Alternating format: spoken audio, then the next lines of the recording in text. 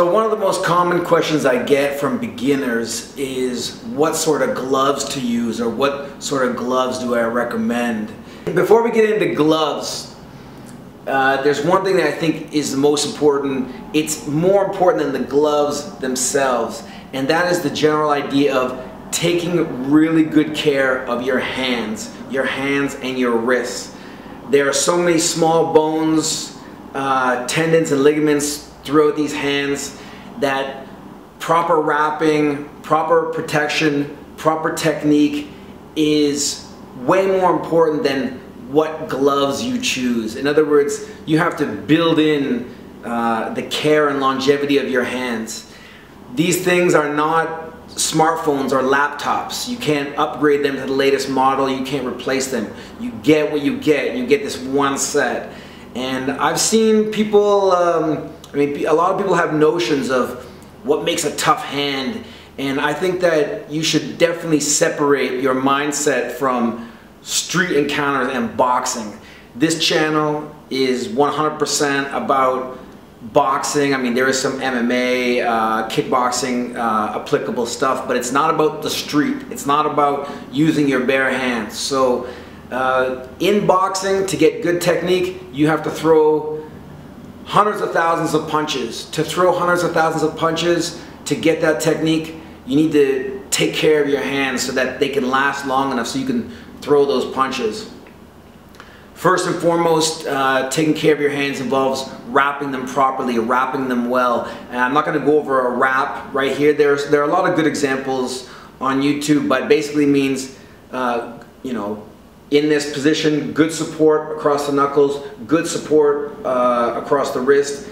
I like interlacing through the fingers, uh, a build-up and support around the thumb, uh, all that kind of stuff. There are a lot of good uh, wrap videos online take care of your hands with a good wrap. The type of wraps I like are the Mexican style stretch wraps. The longer the better.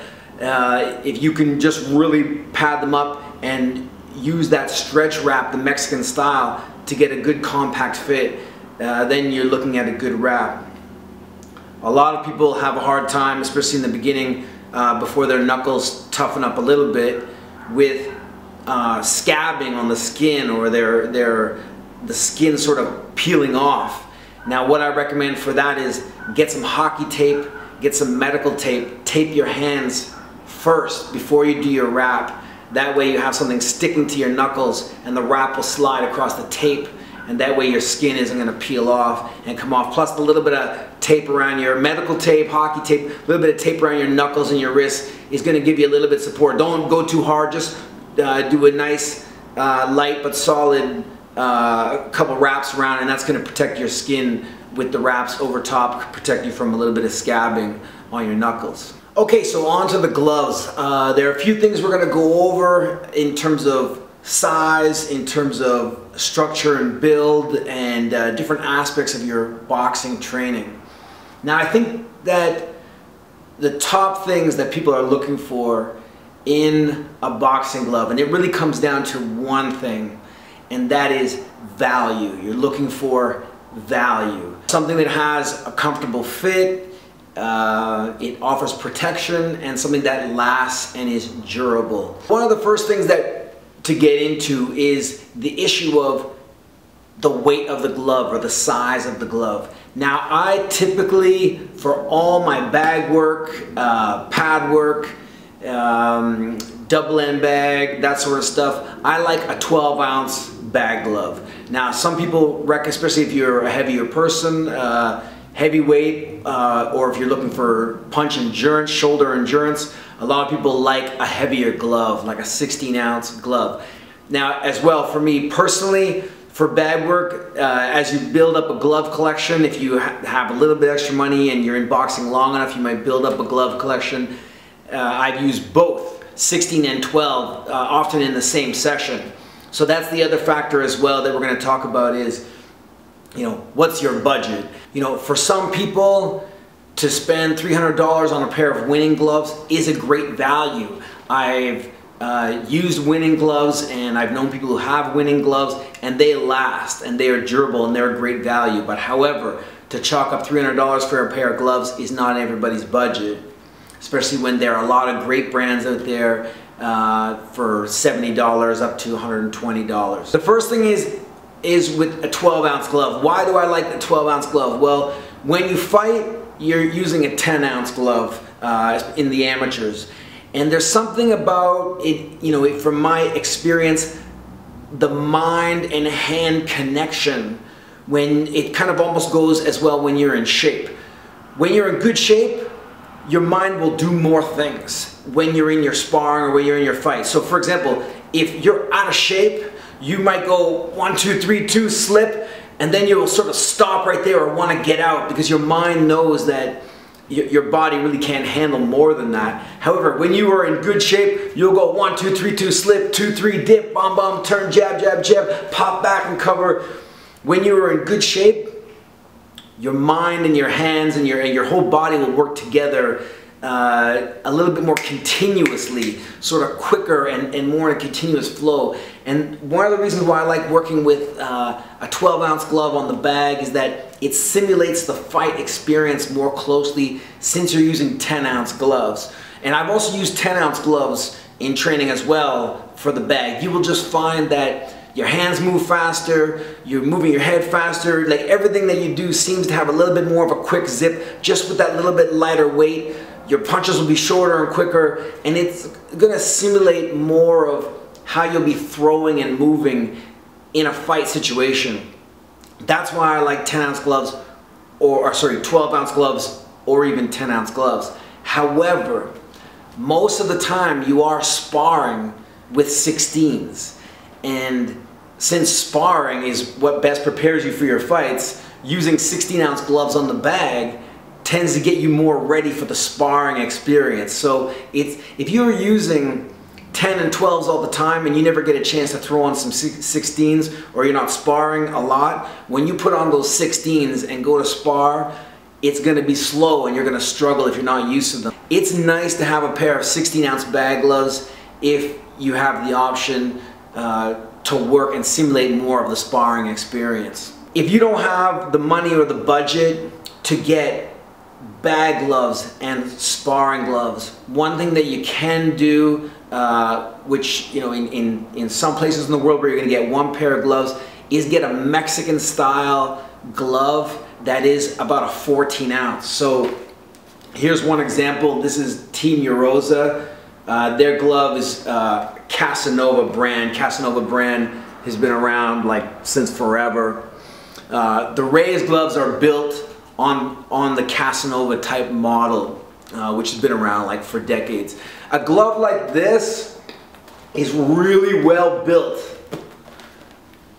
Durable leather, great stitching. The reason why uh, these gloves are made this way is because uh, you know a lot of people in Mexico or in certain parts of the world aren't going to have a glove for both bag work uh, and sparring and then maybe other specialty small gloves for the double end bag. They got to get one glove and it's got to do everything. So this is a 14 ounce glove uh, from Team Euroza. Uh, Casanova brand. If you're interested in a glove like that, that's sort of an all-purpose glove, I'm going to leave a link in the video description below and you can check out more of what they've got. Now, the, the thing about uh, that sort of glove, like a Mexican style glove, is uh, Reyes, Casanova, Team Euroza, is that the durability is incredible. Those things are built to last. The only thing, however, is that if you are sparring with 14 ounce gloves built like a Mexican style, your sparring partners might, might not like you using those gloves in sparring because they are a little bit harder, a little bit tougher, and they may want you to go with it with a traditional, especially if you're a heavy hitter, go with more of your typical 16 or 18 ounce sparring gloves. So I think that, you know, if you're going to be using a Mexican style glove for bag work and you're sparring, that's going to be a great value, especially if you can only uh, afford one pair of gloves to use for all your situations. But you might want to run that by your sparring partners to make sure that you have both have an understanding of what you're using and, and sort of the outcome of that. Okay, on to bag gloves. There are a few things that I've noticed throughout the years. Uh, one, for example, in this ringside glove, a lot of the newer models of the gloves, I don't know if you can really see it, they have this sort of rounded front, rounded uh, front setup, or I guess, you know, whatever the forefront of the glove. If, here, if you look at this Erosa style glove, you're looking at a flat sort of top. Now, uh, another, you know, for example, if you look at like uh, Hayabusa, they have a flat top. Or if you look at a lot of rival brands, uh, rival brand gloves, they have a flat top. Uh, Ringside and a lot of other brands also there are going to have sort of a rounded. Now, the rounded offers you a little more protection and it's a little more forgiving if you miss hit. So for example, when you contact with a flat surface, this top is going to absorb some of the shot before it fully presses down and impacts your whole fist. As well, if you hit a little bit off center on the bag, it's going to give you the cushion and protection uh, that's going to protect your hands um, if you and your wrist if you miss hit a little bit. The flat glove, the flat top, or sort of like the harder glove, like a Hayabusa, Rival, or you know some of the older ringside, that gives you a sort of a feedback of when you hit precisely on the bag that I like. Again, however, uh, for longevity or if you're a beginner, maybe you you tend to miss hit even by millimeters, this rounded sort of top is going to be a little more forgiving and give you a little extra padding. The other thing that's important with your bag glove is the fit. Some gloves have a lot of space on the side and there's no way to really know this in advance unless you're going to um, find somebody who has a glove of that brand and then they measure their hand and you can measure your hand and find out whether it's a fit or not. For example, um, in the medium uh, size or the 12 ounce ringside gloves, now they fit very nice and snug to your hand. So when I put my hand in there, I can feel it snug all around.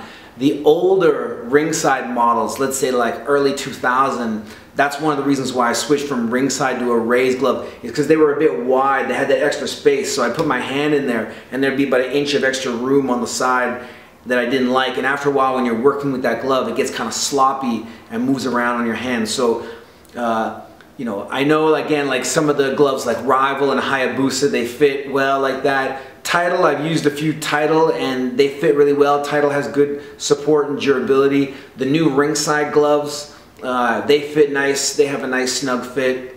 Next thing, sparring gloves. Uh, with a sparring glove, if you can afford or if you're going to get both a bag glove and a sparring glove, again, you're looking at a sparring glove like this, uh, another ringside brand. It has a longer cuff. It's going to offer you a bit more protection, especially when you block shots. If you're using a bag glove, it's going to hit you right on the forearm. It doesn't offer as much protection, so this sort of longer cuff offers you more protection. Also, it's very firm and thick what they've got. Some of them are softer, but there's a lot of foam, a lot of padding. And that does two things. Number one is it takes a lot of the, the, abuse off your sparring partner, so you're not lacing them so hard with hard shots. But a lot of this padding also offers good defense, good defensive protection. If you're blocking like this and taking shots, it absorbs a lot of the pressure uh, from those punches. So if you ever spar, if somebody ever allows you to spar with a 10 or 12 ounce glove, bag glove, which you know I've let that happen every now and then. Um, when you're using those lighter gloves, your hands are going to be fast. You're going to be able to see really well through those gloves. But the defense, you're going to find that you don't have as much cushion. You don't have as much of a margin of error to block those shots uh, for defense. The only thing about a sparring glove or what they call a training glove, why you don't want to get this and use it for your bag work or rely on a sparring glove for your bag work is that they're not built to take the beating of thousands and thousands of punches on a heavy bag. I remember back in the day uh, when I first started boxing, I was at a gym. Uh, Clyde Gray was at that gym, former Canadian welterweight champion, and uh, I was using a sparring glove to hit the bag. This is like way in the beginning. And he came over and he was, he was so mad at me. He goes, get those gloves, you're gonna ruin them. Get those gloves off your hands.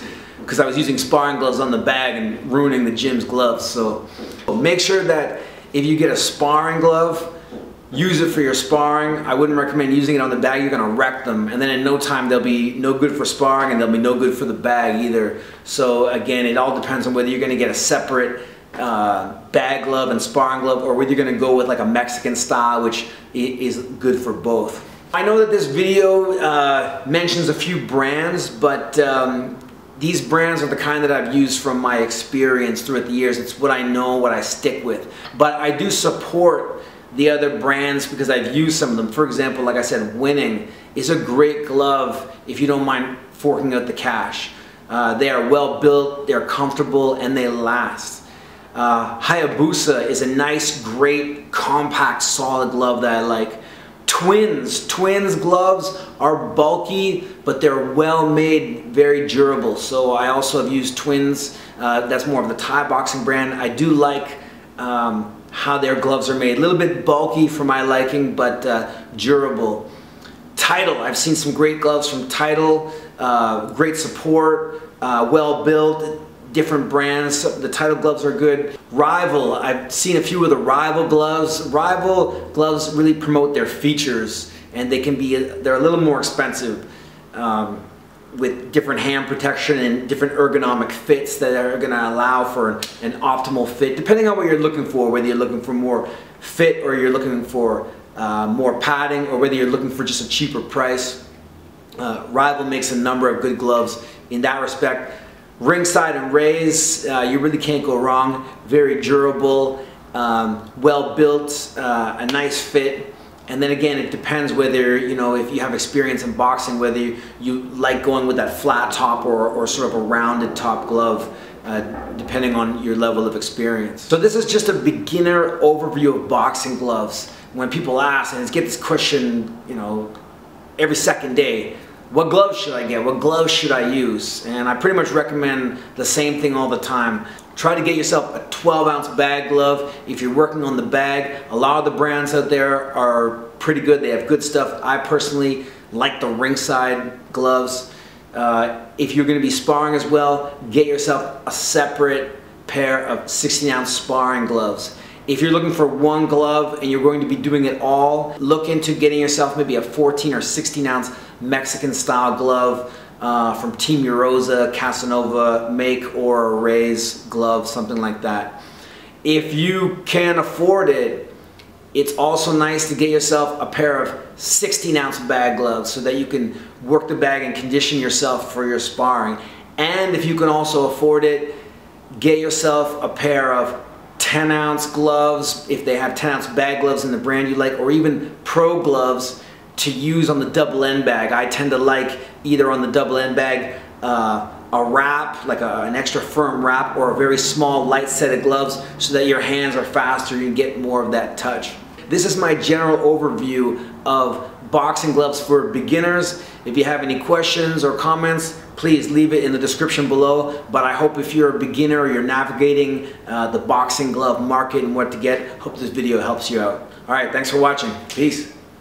One thing I will mention is uh, don't forget on my website to go there, precisionstriking.ca. Go to the bottom of the page, sign up uh, for my newsletter that's going to be coming regularly. And with that, you'll get a free 40 minute video where I outline uh, top mistakes that I think limit people's progress in the gym, especially beginners.